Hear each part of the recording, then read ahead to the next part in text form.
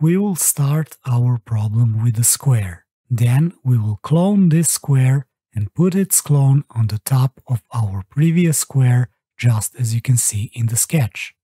Then we will construct another tilted square so that its bottom left corner is aligned with bottom left corner of our small bottom square and its upper side is touching the upper left corner of the upper small square in such a way so that it is divided into two segments with the lengths of 2 and 4.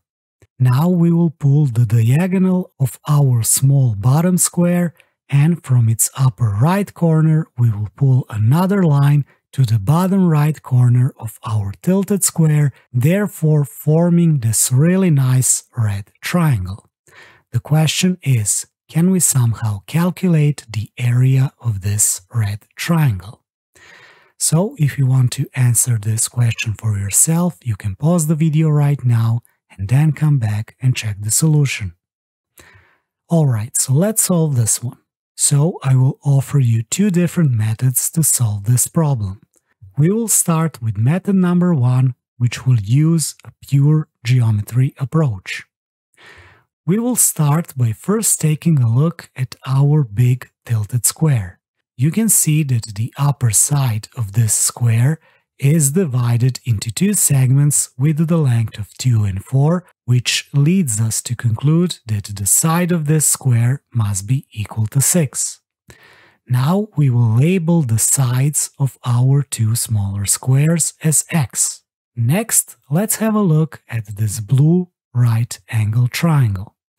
We can use the Pythagorean theorem on this triangle and say that the hypotenuse 2x squared is equal to the leg 6 squared plus the leg 2 squared. Now we can work through this equation and get that 2x squared is equal to 40 which means that 2x must be equal to square root of 40. Of course, we can simplify this square root to be 2 square root of 10.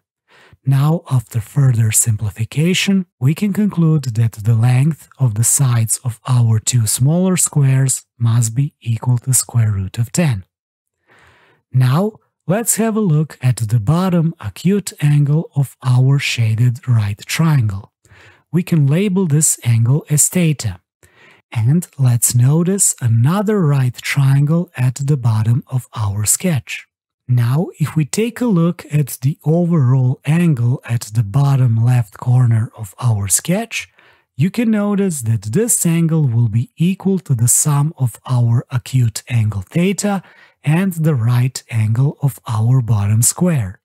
Now, with this in mind, if we are looking at the right angle of our tilted square, then the overall angle at the bottom will be equal to the sum of this 90 degree angle plus the remaining angle of our small right triangle at the bottom, which means that this acute angle of our smaller triangle must be equal to theta as well.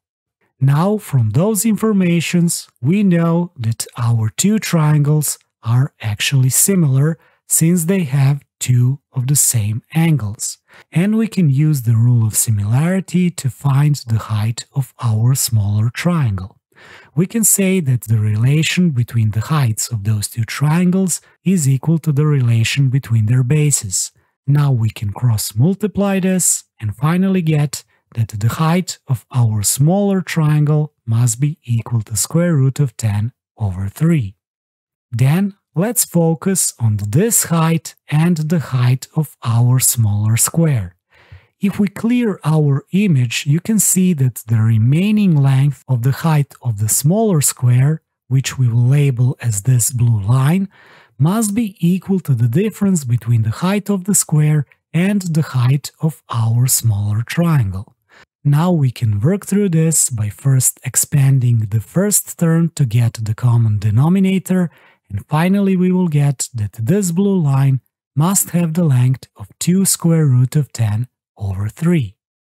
Then let's pull the height of our wanted triangle and let's label this height as h. In this way we will form another smaller blue shaded triangle. Now we can use one really interesting rule of angles which states that the angles formed by an intersecting lines are actually equal. We can use this in our case here since we have two intersecting lines, which means that two acute angles of our two small shaded triangles are equal. This, of course, implies that those two triangles are actually similar. Now, we can use the rule of similarity on our smallest triangle and our biggest triangle, which we isolated earlier. And we can say that the relation between their hypotenuse must be equal to the relation between their bases. We can cross multiply this, simplify 2 square root of 10 on both sides of the equation, and finally get that the value of the height of our wanted triangle must be equal to 2. Now, if we again have a look at our wanted red triangle, you can see that the base of this triangle is actually equal to the side of our tilted square, so it must have the length of 6. Now, since we have the base and the height of this triangle, it's pretty easy for us to find its area as the half of the product of the base and the height. So in our case, this is 6 times 2 over 2, which means that the area of our wanted red triangle is equal to 6 squared units, and this is our solution. Alright, so now let me show you the second method, which will use some out-of-the-box thinking. So we can start this method by first copying our two smaller squares and align that copy on the right side of those two squares so that we will form one big square as you can see on the sketch. Now let's have a look again at the shaded right triangle on the left side of the sketch we can notice that the remaining leg of this triangle is equal to the side of our tilted square, which is equal to 6. Then we can also conclude that the sum of the two acute angles of this shaded triangle is equal to the 90 degrees, since this is the right triangle. Now let's have a look at the upper intersection point between our two squares you can see that the overall angle at this point is 180 degrees, and it consists of three angles. One is the orange acute angle of our previously formed triangle. Next is the right angle of our big square, which means that the remaining angle must be equal to the acute angle of our blue right triangle, since the sum of those two acute angles must be equal to 90 degrees. Now we can use this fact in our favor. We can take our blue shaded triangle, then we can rotate it and align it on the top of our big square, just as you can see on the sketch. We can do this two more times and each time we will align the hypotenuse of this triangle with the side of our big square. And in this way we will form another huge tilted square with the side of 8. Now let's have a look at the center of our inner square. Since the symmetry applies, this center will also be the center of our bigger tilted square. So let's use this and pull a perpendicular bisector of our big tilted square so that we will divide it into four separate squares. Now, since the side of this big square is equal to 8, this means that the length of this red line must be equal to the half of the side of the square, which is equal to 4. Then let's notice the blue segment on the bottom left side of our sketch. This segment will have the length of 2.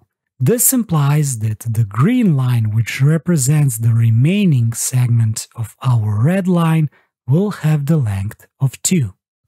Now, if we go back to our wanted red triangle, you can see that this green line will actually represent the height of this triangle. And since we know that the side of our smaller tilted square is equal to 6, we know that this side will also represent the base of our red triangle. Now we can easily calculate the area of our wanted red triangle as the product of the base and the height divided with 2. In our case, this is 6 times 2 over 2, which means that the area of this red triangle must be equal to 6 squared units, and again, we have our solution. Alright, so which method did you guys prefer the most? And did you found another method to solve this problem? If you did, please write me down in the comment section below, I always love to see your solutions. And consider leaving a like or subscribing to the channel if you enjoyed this content. And of course, until next time, as always, see you all and take